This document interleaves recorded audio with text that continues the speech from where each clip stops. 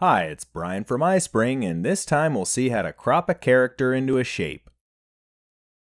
First, let's go to the Slide Templates section and see some examples of where an image cutout comes in handy. These circular photos can be useful for introducing a team or providing a quote. Now let's close out of here and see how to crop a fresh image. Go to the Characters section and choose a forward-facing character. It doesn't matter if it's a full-length image as long as we have the face. Now go to the Format tab, and from the Crop drop-down, choose a 1 to 1 aspect ratio. And now we'll just drag the guy down so he fits in the square, and we're done. Now again from the crop drop down, I love saying that, we'll go to crop to shape and pick an oval.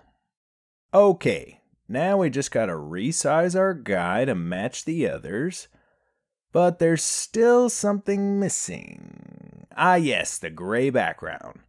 No problem, just right click, go to format picture, and over here, choose solid fill.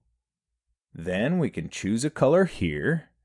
And actually, I'm just going to cheat and use the eyedropper tool to perfectly match that gray right there. And look at that. Perfect. By the way, don't forget that you can use this technique with any picture, not just characters. Thanks for watching. Turns out you don't have to take your characters to the gym to crop them in shape.